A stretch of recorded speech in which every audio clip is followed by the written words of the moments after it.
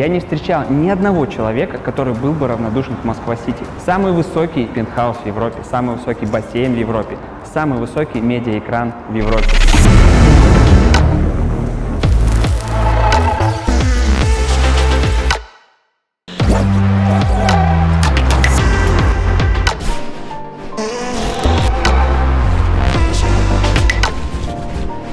Комплекс Москва-Сити не так быстро появился. Строительство его началось почти 30 лет назад и продолжается до сих пор. Считается, что нет ни одного человека, который был бы равнодушен к проекту Москва-Сити. Его либо боготворят, либо терпеть не могут. В свое время писатель Юрий Нагибин отозвался о Москва-Сити как о вставной челюсти Москвы на фоне сталинских построек.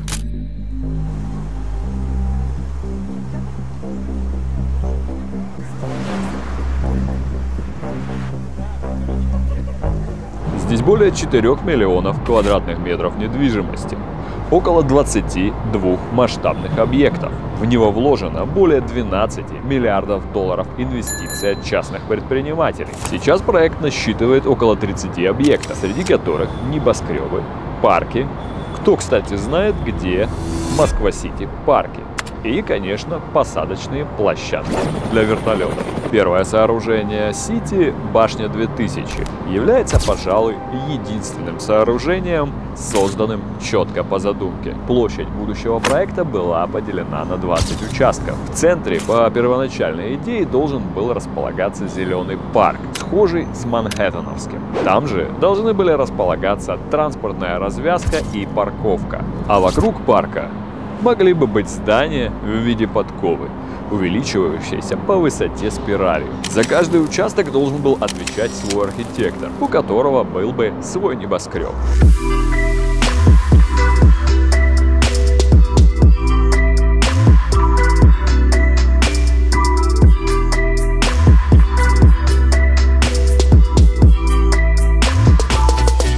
Как это часто бывает, планы изменились, и на месте парка сейчас располагается Афимол, торговый центр. Ну конечно, отдавать кусок драгоценной земли под лужайки со скамейками, когда можно рубить денежки с арендаторов. Не была также построена задуманная башня «Россия» высотой в 612 метров, что должна была собрать в одно целое все высотки Сити. Напишите в комментариях ваши догадки, почему она так и не была построена. Также не было сооружено и 72-этажное здание мэрии высотой в 308 метров и с крышей в виде буквы М. Инвестора не удалось убедить отдать таким образом половину площадей правительству. В 1995 году строительство Сити было заморожено из-за нехватки средств. Но в 2003 году проект стал привлекать инвесторов снова и стал развиваться.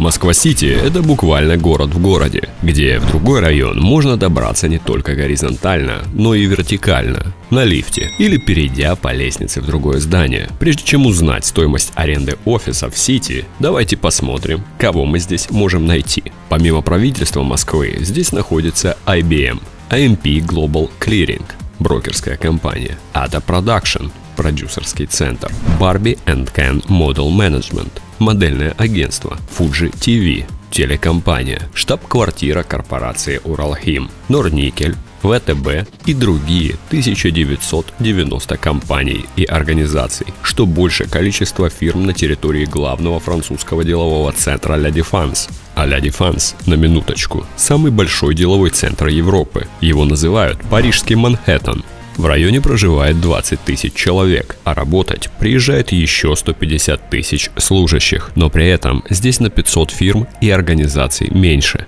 Проживающих там, однако, больше, чем в Москва-Сити. В Москва-Сити, для сравнения, проживает всего 8 тысяч человек. Примерно столько же живет и в лондонском Сити. Но лондонский Сити – это исторический район в центре города со своим шармом, разнообразной архитектурой, чего не встретишь в главном деловом центре Москвы. Небоскребы Лондона возвышаются над тем, что осталось от средневековых улочек. Здесь куча модных ресторанов, пабов, с выходами прямо на улицу, чего так не хватает Москве. Да и считается, что лондонскому Сити уже почти 2000 лет. Сюда каждый день на работу приезжает в 6 раз больше людей, чем в московский. Около 300 тысяч человек.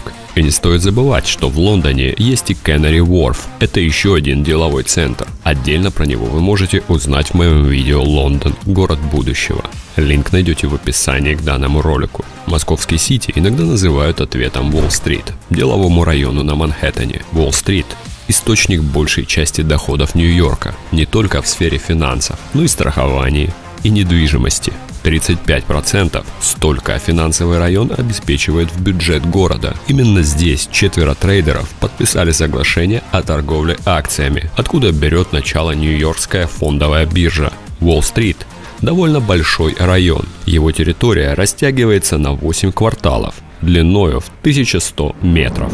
Проект Москва-Сити, в свою очередь, берет начало в 1991 году, когда архитектор Борис Тхор предлагает преобразовать промышленные зоны рядом с экспоцентром в современный деловой комплекс. Изначально реализация программы предполагалась до 2020 года, Однако в итоге строительство комплексов затянулось. Каждая из башен комплекса имеет свое название, а внутри офисы, залы конгрессов, гостиницы рестораны, развлекательные комплексы, выставочные залы, фитнес-клубы, кинотеатр, караоке, магазины, салоны красоты, своя почта, химчистка, поликлиника и даже, внимание, кукольный бордель, где можно провести время с силиконовой куклой любой расы за 5000 рублей в час. На протяжении своих 20 лет строительства Сити даже успел попасть в Книгу рекордов Гиннесса. Люди, занимающиеся хайлайном, проходят по стропе, натянутой между небоскребами Сити, на высоте около 359 метров. Глядя на все это, хочу задать вам вопрос. Хотели бы вы здесь жить? Конечно, сам факт обладания квартирой за миллион долларов не может не радовать. Но вот так, по-простому, по-житейски. Здесь э, некомфортно просто выйти, пойти погулять с собачкой или присесть в кафе за чашечкой кофе, закинуть ножку на ножку и любоваться на прохожих. У вас не получится. Со всех сторон проходят эстакады, и в несколько рядов круглосуточно толкаются автомобили. Железная дорога, ангары, хрущевки – все это вокруг Москва-Сити. Кто почувствует плюсы роскошной жизни в этом районе? Очевидно, тот, кто здесь работает. Сколько стоят эти плюсы? Квартира здесь может обойтись в 100 миллионов рублей. Может больше. Но какое это имеет значение для покупателя? Где есть 100, есть и 200. Не так ведь? Стоимость парковки 380 рублей в час. Но ей удивляемся только мы, приезжающие сюда пофоткаться, рядом с самыми высокими зданиями России и Европы. Объясните мне, друзья, в чем подвох? Вот машина, вот шлагбаум, а оплата парковки за шлагбаумом. То есть вы должны остановиться перед шлагбаумом, пойти за шлагбаум, чтобы сделать оплату и потом вернуться в машину. Почему оплата парковки, вот эта штука, не должна находиться здесь? Цена за квадратный метр жилья колеблется от 469 тысяч рублей и доходит до 1 миллиона 190 тысяч рублей. Это не квартира целиком, это один квадратный метр. Если вы решите открыть здесь свое представительство, аренда скромного офиса в 60 квадратов обойдется в 200 тысяч рублей. А если у вас какой-нибудь стартап, в который вложились зарубежные инвесторы, то вам может подойти и что-нибудь покруче. А цена на покруче доходит до 15 миллионов рублей за помещение. Это ежемесячная арендная ставка.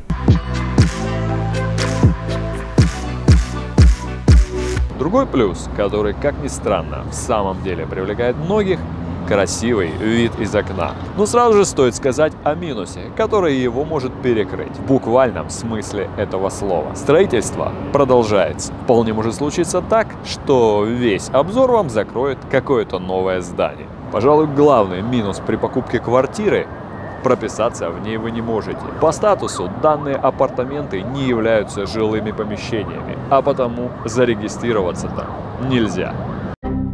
Следующий минус, несмотря на статусность этой роскошной жизни, летом горячую воду у вас все равно отключат, а лифт здесь вы будете ждать, как и все, может даже и полчаса. Во-первых, офисные сотрудники, которые пачками едут на перекур или с перекура. Во-вторых, час пик никто не отменял. Пробки в Москве – это проблема не только на дорогах, но и возле лифтов в небоскребах. Останавливаются эти лифты как автобусы на каждом этаже, собирая сотрудников, которые еле туда помещаются. В США раньше существовали специальные люди, которые в лифтах на кнопочки нажимали, чтобы не было такой ситуации. Ой, а мне на 12 не нажмете, пожалуйста. Некоторые сотрудники даже поменяли свой график работы, чтобы не попадать в эти лифтовые заторы.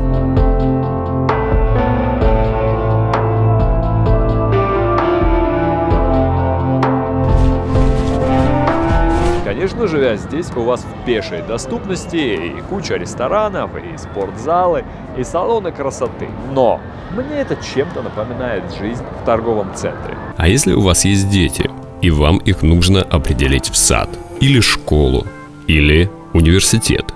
Ситуация, мягко говоря, скудная. Где им гулять? Покупая квартиру, прописаться в ней вы не можете. Соответственно, ни государственный сад, ни школу, вам не предоставят. А их здесь и нет. А зачем, спрашивается?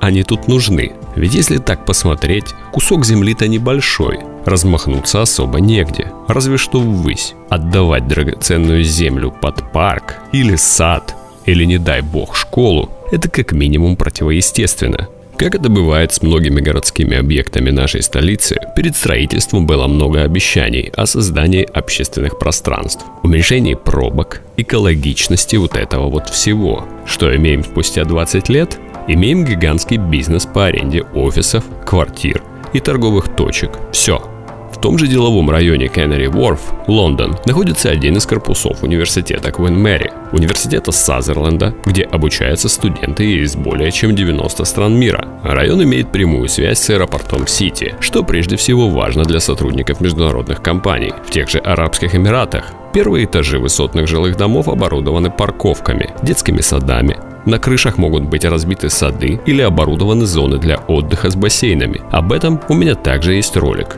Линк будет прикреплен в описании.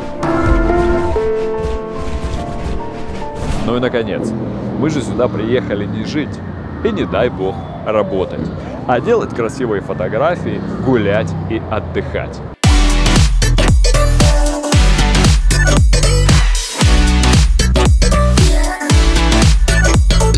Ресторан «Небо», ланч-бар, кальянная на 53 этаже башни «Империя». По субботам здесь проходят вечеринки с диджеем и фотографом. Средний чек 3000 рублей, без напитков. 360. Название говорит за себя. Это ресторан с панорамными окнами и обзором на 360 градусов. Вид открывается на сталинские высотки, Кремль и московские крыши. Находится ресторан на 89 этаже башни Федерация. Средний чек на человека 2500. Крафт, лофт и компот. Заведение чуть проще. Здесь можно найти настоящую домашнюю еду. Во время обеда и ужина тут шведский стол, а во время спортивных матчей трансляции. Средний чек 1100. В башне Федерация на 62 этаже находится ресторан Sixty с разбитыми окнами. Для того, чтобы проверить их прочность, в них кидали арматуру, стулья и даже китайца. Но нет, в ресторане стекла побиты не из-за этого. Они пострадали еще во времена начала стройки. Но их замена была бы слишком дорогой. И потому было решено оставить окна с трещинами что даже придает ресторану свой особый шарм. Дорого, для туристов будет интересным посмотреть на район не только снизу, но и сверху. Смотровые на крышах. Выше только любовь. Открытая смотровая на крыше башни комплекса Ока на высоте 354 метра. Самая высокая смотровая в Европе. Здесь играет фоновая музыка, проходят концерты, открыт бар, есть Wi-Fi, туалет, есть возможность одолжить плед для полного уюта. Посетителям положен комплимент. Напиток и десерт. Панорама 360 располагается на 89 этаже башни Федерация Восток и является второй по высоте в Европе. Высота 327 метров. Круговые 6-метровые панорамные окна позволяют лицезреть все красоты Москвы. Дорога на лифте занимает около минуты так как лифты высокоскоростные. Здесь есть музей и фабрика мороженого «Чистая линия», где можно не только попробовать, но и понаблюдать за процессом его приготовления и узнать историю мороженого в СССР. Здесь есть и фабрика шоколада, где он готовится по итальянским рецептам. Обе фабрики были занесены в Книгу рекордов Гиннесса как самые высокие в мире. На 65 этаже и на высоте 215 метров небоскреба башня «Империя» есть музей высотного строительства и еще одна смотровая по совместительству. Здесь в рамках экскурсии слушатели узнают о самых основных достопримечательностях Москвы и о том, как строились башни комплекса Москва-Сити. Посетители могут посмотреть, как должен был выглядеть комплекс по первоначальной задумке архитекторов из Советского Союза. Здесь же любой желающий может совершить виртуальный полет над Москвой с помощью очков виртуальной реальности.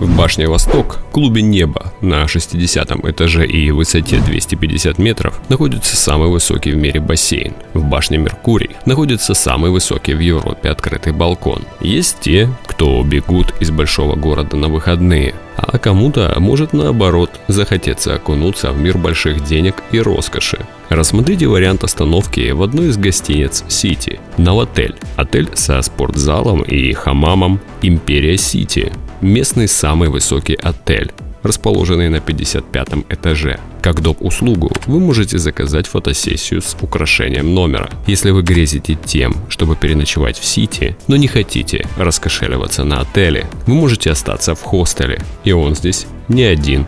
Выбирай любой. Хостел Icon, Say Wow, 47 небо или The Seven Hostels. 10 лет назад, когда я приезжал в Сити, он мне казался нагромождением небоскребов с полным отсутствием единой органичной системы функционирования. Я приезжаю сюда сейчас, и он так и не стал единой органичной системой.